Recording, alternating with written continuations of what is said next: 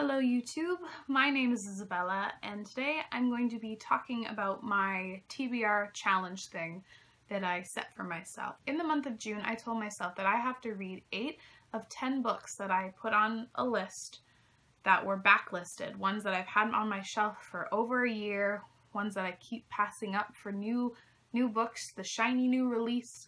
I told myself I have to read at least 8 of these because I'm getting pretty bad now at reading books that I've had on my shelf for a while.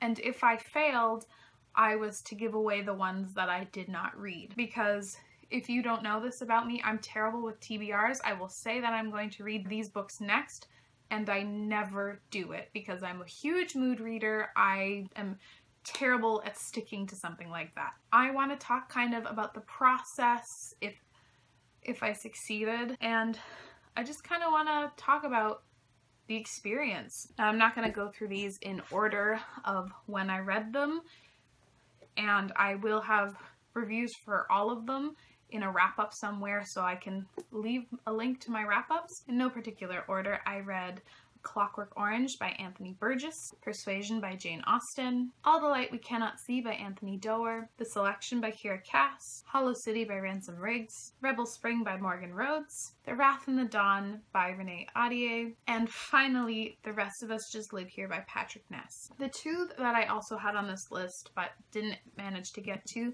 were on the Other Side by Carrie Hope Fletcher and 1984 by George Orwell. I wish I could have done a little bit better. I really wish that I had gotten to either of these ones. All in all, this this was this experimental type thing I would count as a success, especially for my first time ever challenging myself like this. I'm kind of a person who needs a kick in the pants if I want to read something, but it's a little bit outside of my comfort zone. So this challenge really helped me with a couple books, especially A Clockwork Orange and even Persuasion by Jane Austen. That being said, the pressure I put on myself makes me anxious and then I don't end up reading as much as I would like to because I made myself anxious about the pressure. So it's just not the smartest like, it's not that crazy high stakes. It was eight books in three months. Mind you, I did read some other books.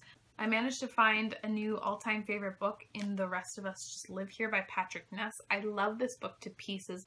I'm really glad with the series I started slash continued. I have been meaning to read The Wrath and the Dawn forever, but I kind of put the brakes on it because I didn't have the sequel and I knew I was going to want to read it basically right away, which is ironic because I read it a month ago and I still have not picked up The Rose and the Dagger. It made me very excited for um, the Falling Kingdom series. I read Rebel Springs and I thought that was a solid entry in the Falling Kingdoms world. I also had a really difficult time getting through All the Light We Cannot See by Anthony Doerr and I predict that this would have been a DNF if it wasn't for the fact that I had to read this. And so I'm just, I am pleased that I did this.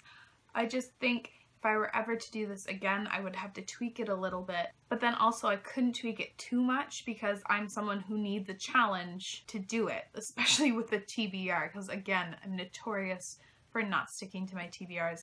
So I think I answered this before, but something I was wondering was, was this thing worth it for me? And I'm going to tend, I am going to say it was worth it to challenge myself with this TBR. I got through some books that I really needed a little push to get through. I picked up series that I've been putting off for a long time and this was mostly a positive experience. The stress that I've inadvertently put on myself because I'm an idiot and I procrastinate. But again, that pressure was my fault, and if I was more organized, it wouldn't be as bad. The last thing I was kind of thinking before I wrap this all up was, would I do this again? And currently, I would say no, just because I'm very busy right now, and the things that I'm reading, I actually want to be reading them like right this very second.